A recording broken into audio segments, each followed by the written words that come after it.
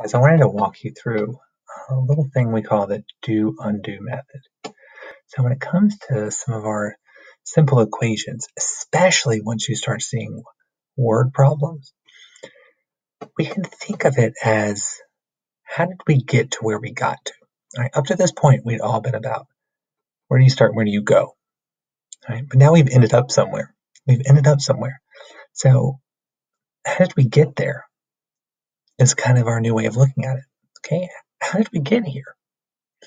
And so in this case, where we ended up was at negative 7. Right? That's where we've gotten to. Right? So we are at negative 7 right now. Well, how did we get there? How did we get there? And so I want you to think about all of these math problems as little itty bitty stories, little itty bitty movie scenes.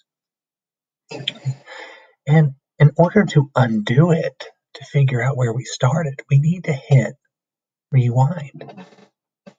That's all we need to do. We need to undo it. And so think about our start as always X by itself.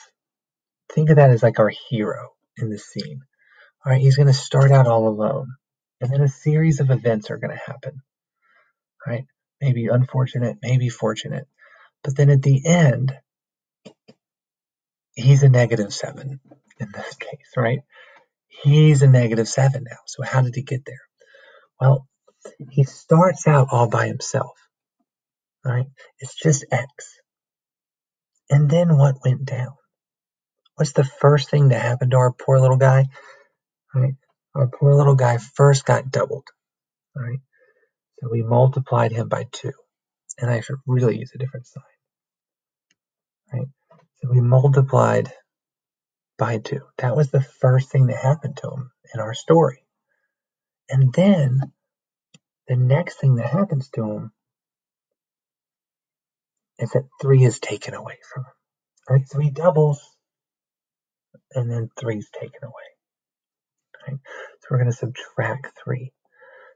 Now in this case, only two things happened to him. He doubled and then he had three taken away from him. And where did that get him? That put him at a negative seven. Right?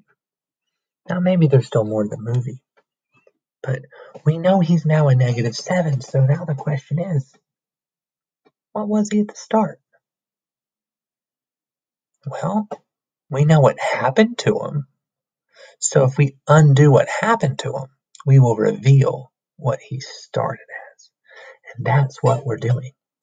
That's what we're doing. And so what this table is, this is going to be called the do undo table. Right. So our big mystery is what is X? Right? Well, we know the series of events that led him to become a negative 7. Right? We followed down this series of events. And we ended up here at negative 7. So we just need to undo it.